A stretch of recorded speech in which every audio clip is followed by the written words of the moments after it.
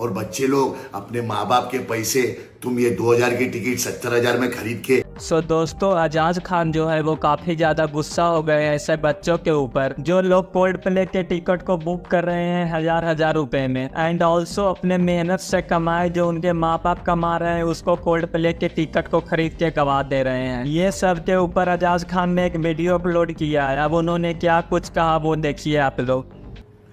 अठारह तारीख को बॉम्बे में कोल्ड प्ले का एक कॉन्सर्ट होने वाला है।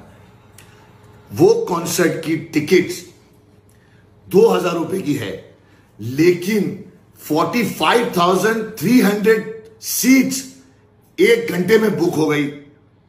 अरे बुक माई शो ये क्या बुक कर रहे हो तुम लोग? पब्लिक के साथ झोल। वाह वाह वाह।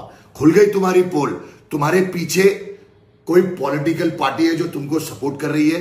और बच्चे लोग अपने माँ बाप के पैसे तुम ये 2000 की टिकट सत्तर हज़ार में खरीद के ये कोल्ड प्ले को देखने जा रहे हो? अभी अपने माँ बाप को किसी अच्छे रेस्टोरेंट में ले जाके खाना खिला बेटा। यूट्यूब पे शो देखना। और इस पर दैनिक भास्कर न्यूज़पेपर ने स्टिंग ऑपरेशन भी किया है, जो आप लोगों को देखना चाहिए।